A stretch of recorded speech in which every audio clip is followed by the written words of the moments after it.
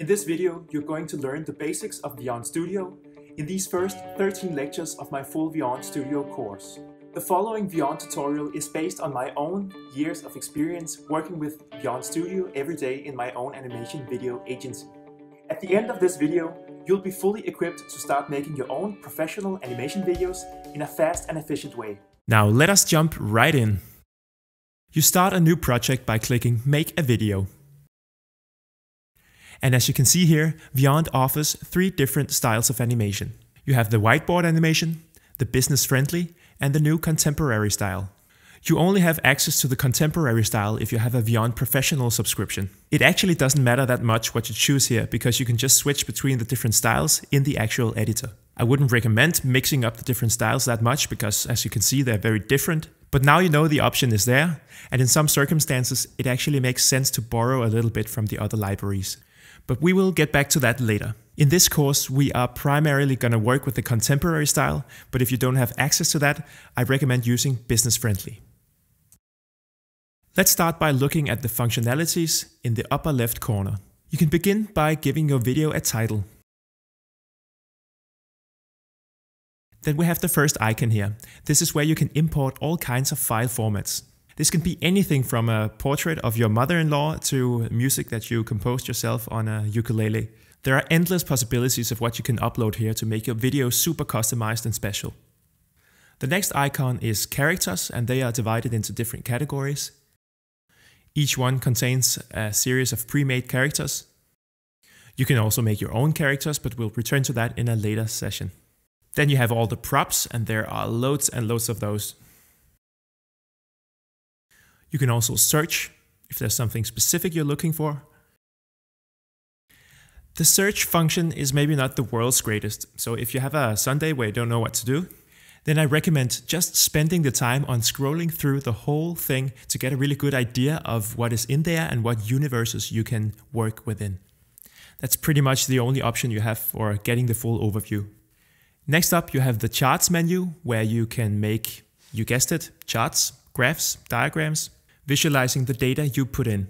Then you have texts, which is divided into three different categories for a reason I don't know, because you can just change the text however you want. So why they divided it into three categories, I never really figured out. Last but not least, we have sound. Here you have background music and sound effects. It seems pretty random what's in here. Some of it is really useful and a lot of it not so much. It seemed like the person who did the sound effects didn't spend the time on going through the props library to see what would make sense to make sound effects for. I would really recommend importing sound effects and background music from other places around the web instead of using the ones in Vyond. But it's a good place to start, so go through the list so you know what's in there. In the upper right corner, you have the option to swap the theme template you're working on. You do that by clicking swap, and then you will get an overview of all the different categories and themes that Vyond has. Each category contains a series of templates that you can customize as much as you want. As an example, you can change the background. The contemporary style has patterns and locations as the two different categories. As always, you have the option to change between the different animation styles. Let's try this one. Here you change the background color. They say green is good for the eyes. I don't know how healthy this one is. Might be a bit too much. This one is better. No eye injuries today. Here you have the option to change scene transitions. You can add camera movement and the last icon gives you the option to change the duration of the scene. You can also change the duration of the individual scenes in the timeline, which I personally find much, much easier. But we'll go much deeper into the timeline in a later lecture. In the middle of the top bar, you see five icons. Undo, redo, copy, paste, and delete. Personally, I think it's much easier and faster to use keyboard shortcuts, and you probably know many of them from other programs. Vyond actually has a lot of shortcuts, and you find them all by going to Help and searching for shortcuts. And then you click on the top one, the top FAQ. Does Vyond Studio have keyboard shortcuts? Yes, they do. Lots of them. Go have a look at them all and use the ones you find useful. Down here, you can zoom out and zoom in. Last but not least, you have the fit to screen function, which will fit the size of the editor window to your screen size. When you click a prop, you will realize that some of the icons in the top right corner will change. You now have the option to replace this prop with whatever prop you choose. This makes a lot of sense. You can even replace a prop with a character.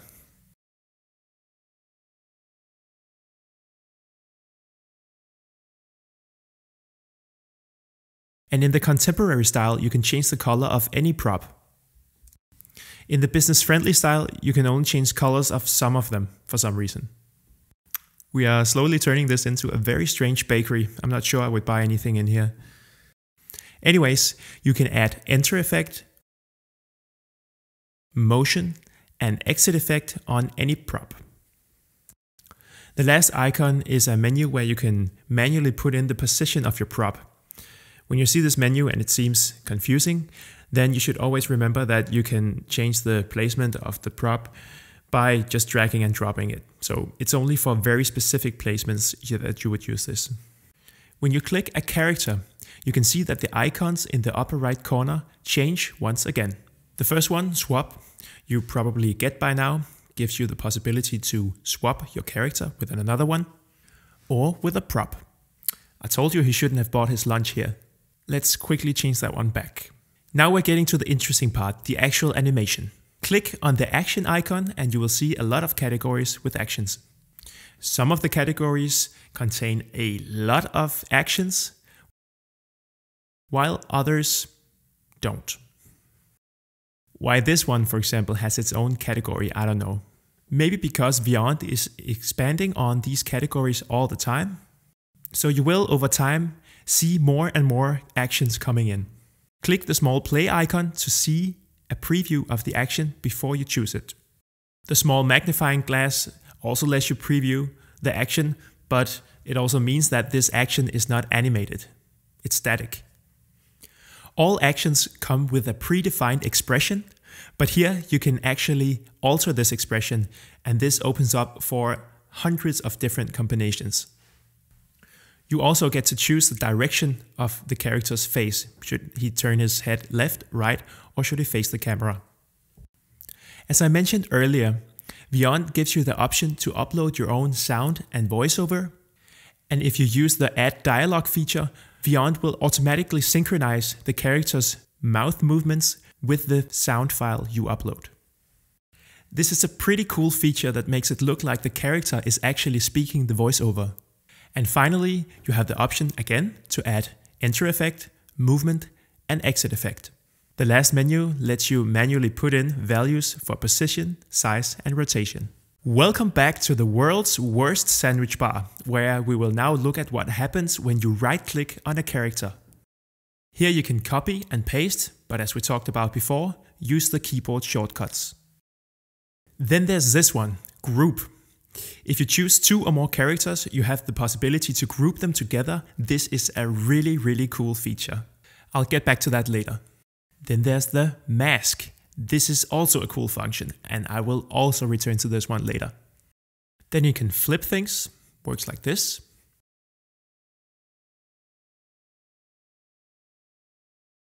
Here you can bring characters forward and backwards, all the way to the front or all the way to the back. This is, by the way, the same for props, where you can move them one step at the time, or all the way to the front or all the way to the back. This guy is having a really bad day. Remember, there are keyboard shortcuts for moving things back and forward. Delete is the last function. You can also do that on your keyboard directly, so do that and save you a little bit of effort and time. When you want to create a new character, you go up in character, and from here you have two different options. Either you can use an existing character as your point of departure and edit that one, or you can start from scratch, and that is what we will do. In order to create a character, you have to leave the Vyond Studio, so click Save and Go. Now you are choosing an animation style for your character, and here you actually can't blend the different styles. So here you actually have to make a decision. Business friendly is the only style that allows you to make children.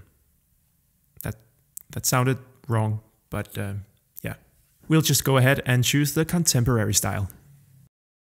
Here there's absolutely no reason why you have to choose a body type, because you get the exact same options with both ones. The character creator is divided into the following categories. There's head, where you can alter the hair and the skin color and other things. Then there's top, where you can choose his clothing.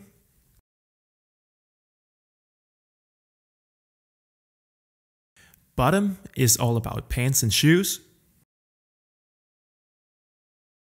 Then there's accessories, and the last one is character settings, where you can only alter the height of the character right now. Thus, we succeeded in creating a new character and conducting a sex change at the same time. When you're done, then use the preview function to see how your new character does different actions. I would recommend that you go through the face, the top, the bottom, the accessories, and all that. Go through the library of the different possibilities to get a really good overview of what's in there. When you are totally done and you're satisfied with your new character, you click Save.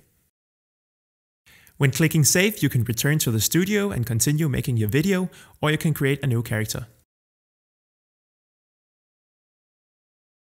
If you click on the big plus down in the timeline, you get the chance to add one of the many templates. As we've touched upon earlier, Vyond contains a lot of different templates you can choose from.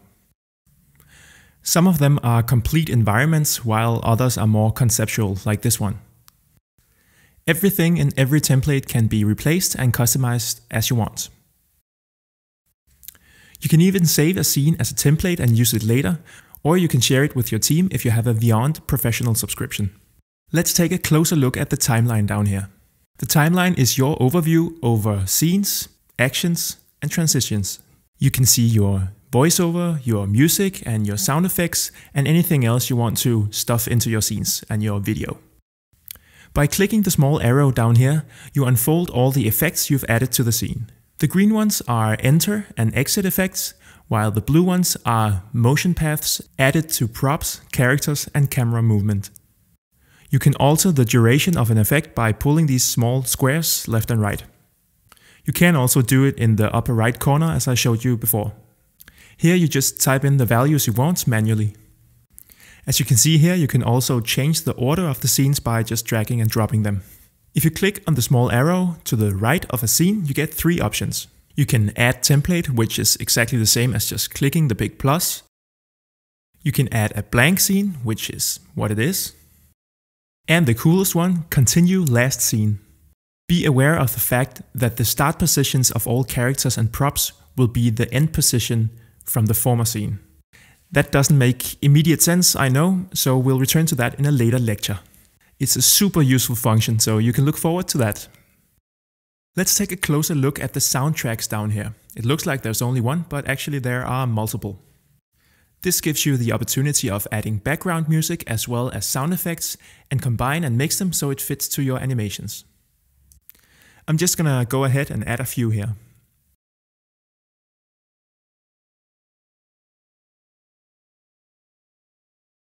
You can always right click a soundtrack or a sound effect to hit play and it will play from the beginning without playing the actual animations. Or you can choose play from and you'll play the track or the sound effect from the exact point where you right clicked. Also without the actual video playing with it. You can split sound files by right clicking and choosing split. And by clicking settings, you can alter the volume of the sound clip. You can actually put the volume of the sound clip to higher than 100%, but this might mess with the quality of the sound. If you click here, you can set the enter and exit fading of a sound clip and see how long its duration is down here on the timeline. See how a change in the duration of a fade will affect how it's visualized down here on the timeline. So get yourself down to the rehearsal studio and lay down a smooth saxophone track for you to use in your animation video. Or you can just find something on the internet, it's your choice. If you ever need it, you can add one camera per scene.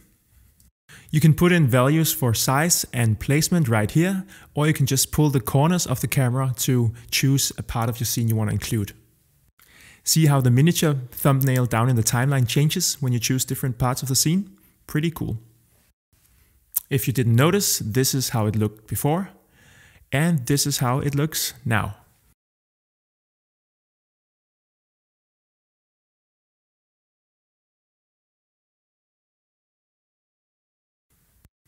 Click on the camera icon once more to add camera movement. The orange camera is the starting position, the yellow camera is the ending position. You can use this feature to zoom out in your scene or zoom in. Or maybe you want to add panning from right to left. Here you can choose if you want the camera movement to last the whole scene or you want to choose your own delay and duration. As you can see, these elements are now their own separate object. I can choose to group these elements by either dragging this square over them to select them, or you can select them one by one by clicking the first one, hold down shift, click the next one and continue until you've selected all the elements you want. When you've selected the elements you want, you right click on one of them and choose group. Now this is happening. When I move one, they all move as a group. This is extremely useful in a lot of different situations. If you want to reposition one of the grouped elements, you just double click, move it, click away from the scene, and now it's grouped together with the other ones again. If you want to, you can always ungroup them again by right clicking on one of the elements and choose ungroup. Now we've come as far as to the mask function and it's almost just easier to show you than talk about it.